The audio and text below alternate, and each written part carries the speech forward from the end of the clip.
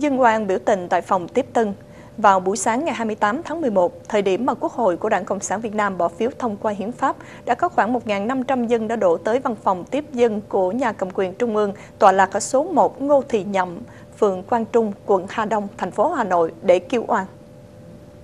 Một vài nguồn tin cho biết là trong số này có chừng 800 người đại diện cho dân chúng Văn Giang, Hưng Yên bị thu hồi đất để thực hiện dự án Eco Park. 700 người còn lại là những nạn nhân bị cưỡng đoạt đất đai ở nhiều nơi khác trên cả nước. Những người dân này đã họp lại thành một đoàn, diễn hành từ số 1 Ngô Thị Nhậm đến ngã tư Nguyễn Trãi, khuất Duy Tiến để đòi công lý.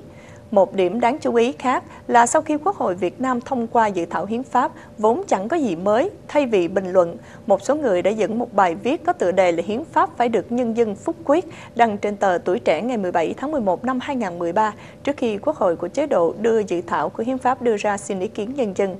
Bài viết này trích dẫn ý kiến của nhiều cá nhân, vừa là viên chức chính quyền, vừa là đại biểu quốc hội về những điều nên làm sau khi đã có hiến pháp mới. Chẳng hạn ông Hà Hùng Cường, nhân vật vừa là Bộ trưởng Tư pháp, vừa giữ vai trò đại diện cho dân chúng tỉnh Quảng Bình tại Việt Nam nhấn mạnh rằng hiến pháp phải do nhân dân làm ra, nhân dân phải có quyền phúc quyết hiến pháp.